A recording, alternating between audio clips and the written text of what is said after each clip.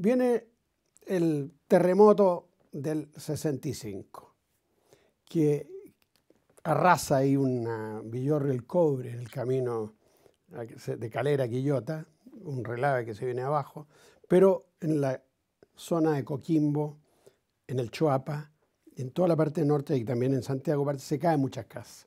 Pero ya no tantas porque ya habíamos los chilenos empezado a, construir de otra manera, pues, con fierro y con ladrillo y con cemento, no con adobe, que era lo que más se había ido cayendo en el tiempo en los terremotos nuestros. Pero ese terremoto permite que las, eh, produce que las casas del Valle del Choapa, que eran nueve haciendas que estaban en manos del Servicio Nacional de Salud, administradas por ellos, y donde estaban los únicos sindicatos del país, que eran todos sindicatos comunistas, porque era un ente del Estado que permitía la sindicalización, eran los únicos sindicatos que existían.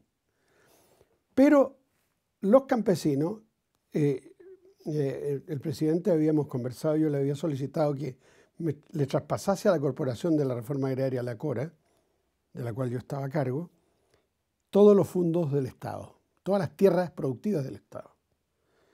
Cosa que ocurre. Y nos traspasan la hacienda del Choapa, pero con los administradores.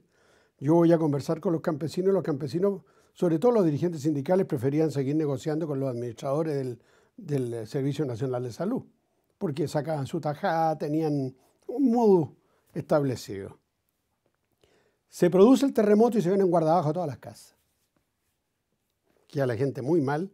Voy yo de inmediato, porque era el responsable de lo que teníamos ahí, y me reúno con los, con los sindicatos y después con la gente, con la asamblea, y le digo, mire, nosotros estamos dispuestos a ayudar a la reconstrucción de inmediato, pero aquí vamos a trabajar de otra manera. Ya no pueden haber, haber estas cosas, ya los patrones no existen. Se van los del Servicio Nacional de Salud, se van ahora y por lo tanto ustedes tienen que hacerse cargo de la producción. Y ahí comienza, en marzo del año 65, la prueba de los asentamientos, a ver si funcionaban.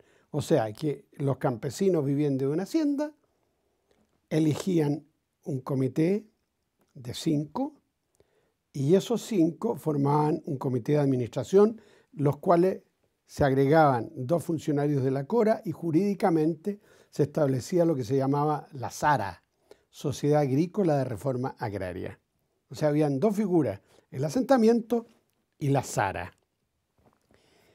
Las probamos y, para sorpresa de todos, la producción empieza a subir, a subir, a subir, a subir.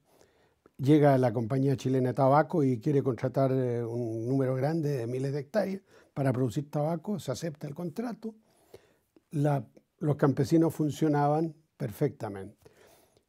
Ahí llega a trabajar, junto con Alberto Jordán, que era el director zonal, un joven ingeniero agrónomo que lo trasladamos desde Arica, que ya trabajaba en la Cora antigua, en Nanmeri.